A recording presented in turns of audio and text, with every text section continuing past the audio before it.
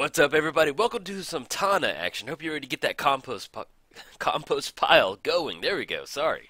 Been recording for a little bit. Uh, let's get the chat closed down. Let's get the graveyard squared up. Now, as far as opening hand goes, we have Scalding Tarn, we have Naya Panorama, Goblin Bombardment. We have a really nice little little assortment of enchantments. If we hit our third land drop, we'll be online for Cultivate. Yeah, let's go and keep on this one. I like Betrothed. We haven't got to I haven't got to play with that yet. That's a pretty fun little card for the deck. It'll be a good way for us to kind of talk about it. Let's get Tana back up. There we go. It's Tana and the Saplings versus Kozilek, the Butcher of Truth. Okay, let's go and get the. Uh, let's go for the Scalding Tarn. That sounds pretty good. Let's get the Scalding Tarn down. Let's go and crack. Let's grab the. Um, we have that Cycle land in here. Let's just go and grab that. That way we don't draw into it and it has to come into play tap. So Sheltered Thicket, put it into play tap. Anything else? Now we're going to go and pass the turn. We are playing Tana, the Bloodsower. She has Trample. Whenever she deals combat damage to a player, create that many 1-1 green sapling creature tokens. Playing against Kozilek, Butcher of Truth. I'll cover that in a sec. Uh, Kessig Wolf Run, awesome. Let's go ahead and get the Naya Panorama down. We need? Yeah, kind of like we need uh, access to another green source. Let's go ahead and go for the um, Naya Panorama. Do we want to go for Goblin Bombardment at this one? No. Or do we want to have access to double green? We're not under any sort of pressure right now to have access. Yeah, let's just go Goblin Bombardment. Let's get that down. I thought about cracking the the uh, Naya Panorama to get a forest down, but uh, I like going for Goblin Bombardment. That way, if we do get online with the uh, Tana connecting and getting those sapling tokens, we'll be in a good spot. Okay, Rogue's Passage, man, we're just drawing all of our utility lands. Uh, let's go to get down the uh, Kessig Wolf Run. Yeah, let's go for that. Yeah, Kessig Wolf Run, let's go for Cultivate. So we're looking at green. And then let's go ahead and go probably Forest and the Mountain on this one. Little even split. Okay, and let's go and put the forest onto the battlefield. Mountain goes into the hand. Anything else we need? No, we're going to go and pass turn. Okay, now let's put this in a spot next turn to where we can go Tana, and then we get down the Dragon Mantle, draw a little extra card, and then next turn go uh, Betrothed of Fire, start swinging in, sacking those creatures. Oh, we need to cover Kozilek. We are playing against Kozilek, the Butcher of Truth. Whenever he, uh, whenever you cast him, draw four cards. He has Annihilator four, and then whenever Kozilek's put in a graveyard, uh, shuffle. So, no Reanimator shenanigans for you. Let's go ahead and get down uh, Tana. So we've got uh, green and red, colorless. Let's go for the mountain. Let's get that down. Let's go for the dragon's mantle. We're going to be able to draw a card off, with, with, off this one, which is always nice. Also a little mana. Ooh, Worldly Tutor. Okay. Let's go ahead and pass the turn. There's nothing we need to do. We can, during our upkeep, go for Argothian Enchantress, and then go for the Betrothed of Fire, draw an extra card. Uh, we do have a tap land in the Gruul Guildgate, or if we want to go for the Fires of Yavimaya, we can go for that. Ooh, Wurmcoil Engine. That is... Uh, that definitely kind of stops us in our tracks. See what they go for, though. Maybe we can get a connect with a few sapling tokens and go for a Goblin Bombardment. So we ain't scared. Let's go and go for let's try and get our Enchantress engine up and going. That that's kind of one of the key factors. So let's go for Worldly Tutor. Now if we go for Xenagos plus four, let's go for Argothian Enchantress. I like that a little bit better. Let's go for we just want to get the card draw going. That's what matters. Okay, let's get the Enchantress down. Nice lady. Kessig Wolf Run. Let's go ahead and get the Gruul Guildgate down because at this point we want to get as much uh, fire as not fire as much uh, card draws we can get going. Um, let's go ahead and go for the uh, Betrothed of Fire. Let's put it on Tana.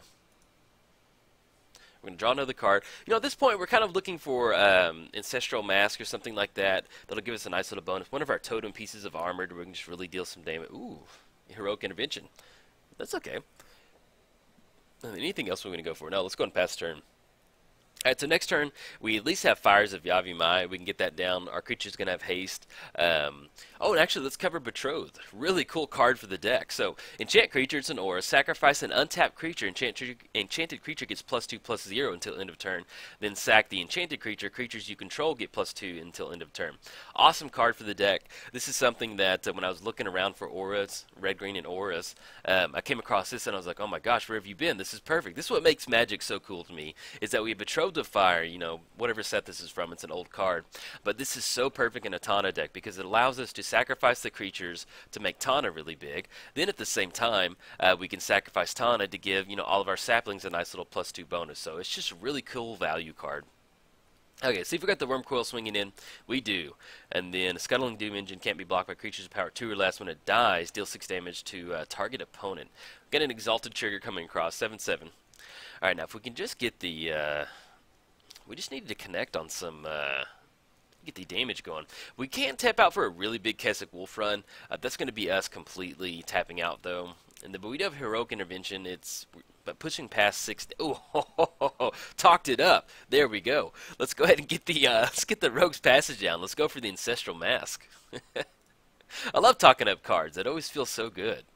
And then tap for one more. Either way, we're gonna have to go for Rogue's Passage. Um, but we're gonna one, two, three, four. Yeah, yeah, we we can get past that. Let's tap the uh, the Naya Panorama. We're gonna draw another card. Oh yeah. Need to fight those Wurmcoil Engines. Rites of Flourishing. Oh, 8-8 body. what are you talking about? Who's who's out there? Let's go for the. Uh, there we go. Tap for green. Get down the. Have some nice little haste. Creatures you control, we can sack it, get a nice little bonus. Oh, and then we have the forced adaptation, so we can go for that next turn. Okay, so we've got a 10-10 body coming across. If they want to block, we can. If not, we're going to be able to connect, get some nice little, uh, get some nice little sapling tokens going. Let's go for it. And then we get into spots where we can start uh, sacking them, and then, uh, oh yeah, scuttling Doom Engine, jumping in the way of Tana. Get out of here. Six damage target opponent. We're okay with that. We're gonna have some nice little chump blockers though, and then we get into spots where hopefully we can uh, kind of outrace the uh, the lifelink engine of uh, the Wurmcoil engine. Okay. Anything else? Now we're going to go and pass turn and let them do their thing. But you can see where this is a really fun board state. You know, we've got Tana on there. We have the Ancestral Mask, which is just absolutely nuts. Can't believe we talked it up. Love that. Then we have Betrothed, so we can start sacrificing our creatures to give them bonus. Right now we're looking at plus 8, plus 0. So we're looking at 18 coming across, which is actually 22 uh, in commander damage. So if we want to do that, we could do that. But more than likely, we're going to see a Wurmcoil block. Uh, Metalwork Colossus. All right, we're going to have to fight past that one. Luckily, we have at least two more in, uh, enchantments on the battlefield that we can really pump Tana up. But uh, to sit there and have the Metalwork Colossus be scared of Tana, man, it feels really good. Love it. All right, now let's do a little bit of Kozilek check too. But you know, either way, we've got Annihilator four, so that's we just keep connecting with Tana on these. Uh, yes, the Wurmcoil engine is being held at bay. Okay. Cryptolith, and uh, get the uh, the Rite. Let's go ahead and go for how do we want to sequence this? A lot of stuff to do. Let's go for Forced Adaptation. I'm going to draw another card. It's going to pump us up by two. We're going to get the Rite down. And then we still have Rogue's Passage to make it unblockable. That's going to give us a lot of mana to work with. We're going to connect for 12. Let's. Do we want to go for the Rogue's Passage? It's going to be us tapping out for 4, swinging in. They can swing, yeah, and then we'll connect with a bunch. Yeah, let's go and go for the Rogue's Passage. Make Tana unblockable. We could get a few more enchantments down. We could go for the the Rite, but um, I think at this point we just kind of want to um, just want to come in hot. Now we do have 12, 16, and actually I think we can close it out.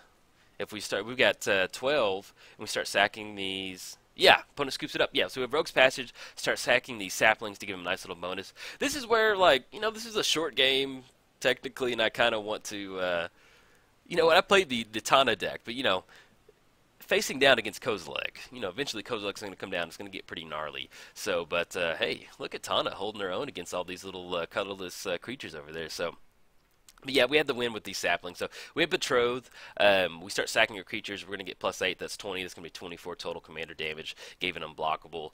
And uh, there we go. Man, that's part of winning the game, though. But if we didn't, I thought about not winning and just making a bunch of sapling tokens, but uh, that's just us playing with, with, our with our prey at that point. So, all right, everybody, if you enjoyed the video, like and subscribe. Thanks. Bye. What's up, everybody? Welcome to some Tana composting. Hope you're ready to get your composting going. We are. Ooh, playing as Karlov of the Ghost Council, the one and only. Now, as far as opening hand goes, we've got Nature's Lore, Kodama's. Yeah, I like this. We'll keep on this one. A little bravado for a nice little Tana. Make sure she's nice and big. Okay. Let's go ahead and what do we lead off? We're just going to lead off with the sheltered thicket. Get that down. Anything else? Now we're going to go and pass the turn.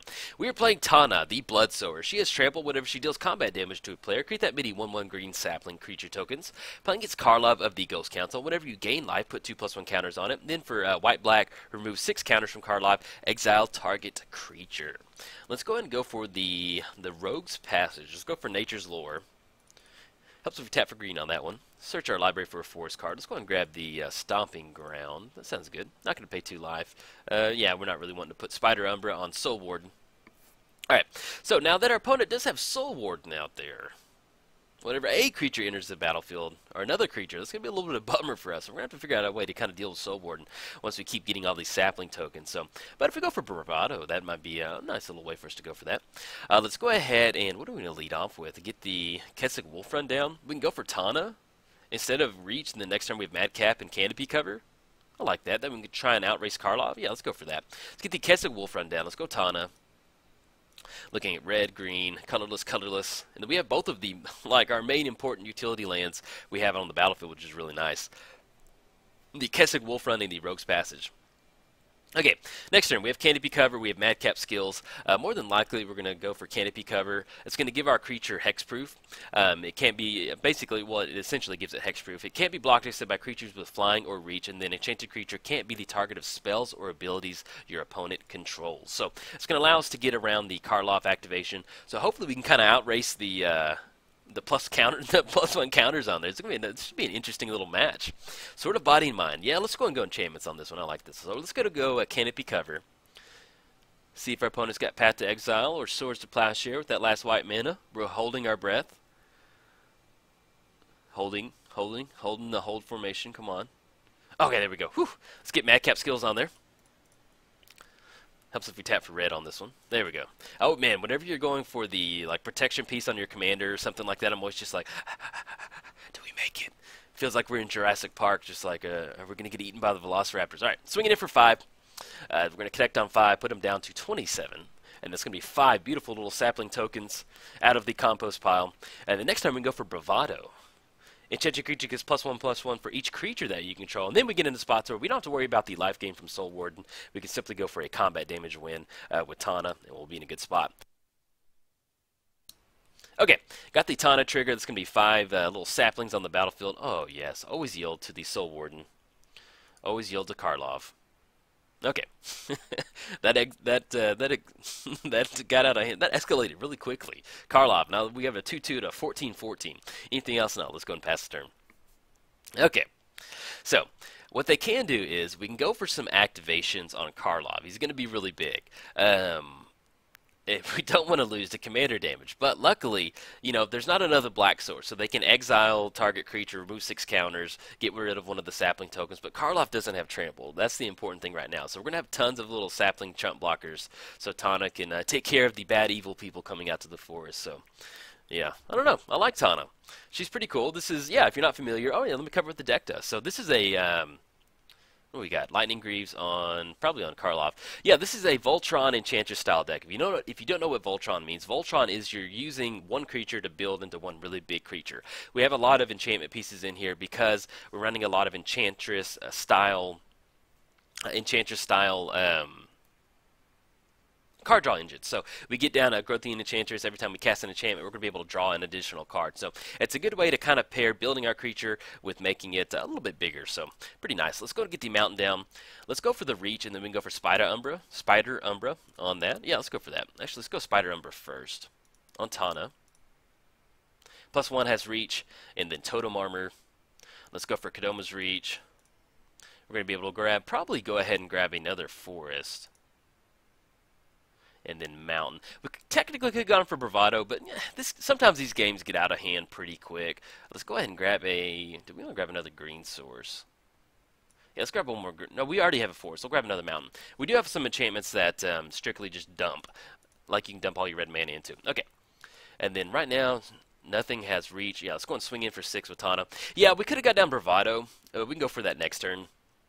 We get into the spot to where um, you know, it, sometimes it's kind of easy to win with commander damage. It's very much one of those games where I'm just like, hey, let's just make some saplings. That's kind of what I want to go for. So we're out here tending to the sapling garden, making a really big Karlov, 26-26 Karlov. Anything else? No, we're going to go past there. Okay. Love it. And then just Karlov is just sitting there with all these counters and he can't do anything about it. Okay, so we're at 11 total commander damage. We have 11 total creatures, 12 if you count Karlov for each no for each other creature that you control. So we're going to get uh, 17, I think. That'll be 11. Um, yeah, there should be 17 coming across, which should be just enough for commander damage. Now, here's the spot where you just kind of want to keep swinging in, making some sapling tokens. That sounds good to me. Um, I just want to keep making sapling tokens. So, uh, I don't know, it's fun to me. We also have Kessig Wolf Run to tap and dump out for. Um, look at one, two, we'll tap out for three. That'll be nine. Put them right at 20. If we go for Bravado, uh, let's just go for Bravado. Let's see how big, uh, see how big uh, the uh, Tana is. I like I like seeing that. We haven't got to cast Bravado yet. 17, 14. Oh, yeah. Right, opponent scoops it up. we're going to be able to get through on commander damage. But I just kind of want to see what it'd be out there. But you can see we're going Voltron with Tana is a lot of fun, especially Bravado. Uh, this is one of the key enchantment pieces in the deck. Enchanted creature gets plus one, plus one for each creature that you, each other creature that you control, and it's a really good way for us to utilize all of our sapling creature tokens. So, look at that. Nice little spread. Madcap skills, canopy cover, Spider Umbra, Bravado, Tana, you're looking extra, extra special tonight. So, all right, everybody. If you enjoyed the video, like and subscribe. Thanks. Bye.